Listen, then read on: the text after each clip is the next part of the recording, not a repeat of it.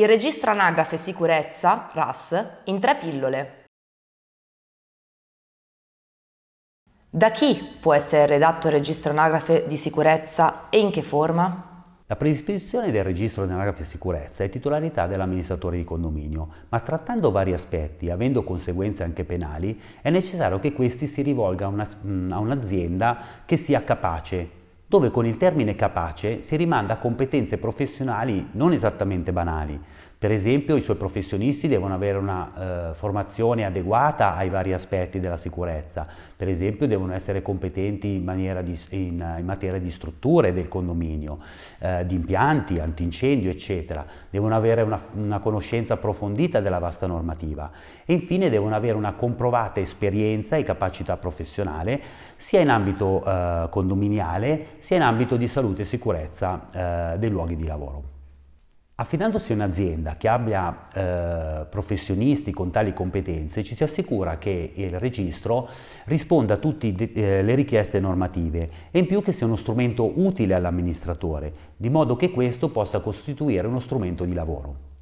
Un documento chiaro, immediato, intuitivo. In una parola semplice, dove per semplice intendo che questi sia per esempio intellegibile a tutte le parti interessate, quindi in primis all'amministratore di condominio, ma anche per esempio ai condomini, ma in senso lato per esempio anche a qualcuno che potrebbe avere interesse, per esempio eh, una persona che voglia eh, comprare un immobile all'interno del condominio.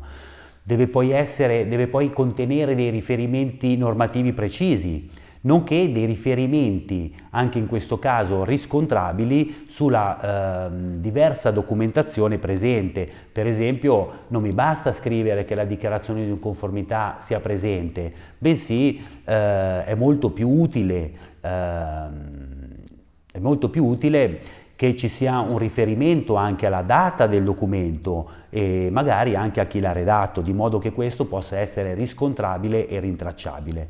Infine che siano eh, chiare anche le scadenze, di modo che il, eh, il RAS diventi uno strumento eh, di lavoro per l'amministratore, che possa farlo diventare quindi un piano di lavoro quotidiano. Solo in questo modo il dettato normativo può dirsi rispettato. Per questo motivo il registro deve essere semplice, dove per semplice intendo che questi sia soprattutto intellegibile a tutte le parti interessate, quindi in primis all'amministratore di condominio, ma anche ai condomini, o per esempio a qualcuno che voglia comprare un immobile all'interno dello stesso condominio. Deve contenere riferimenti normativi precisi, e deve contenere anche dei riferimenti eh, riscontrabili sulla varia documentazione presente, quindi non mi basta dire per esempio che è presente la dichiarazione di conformità, bensì un riferimento alla data di questa o, e anche per esempio a chi l'ha, firmata questa dichiarazione di conformità.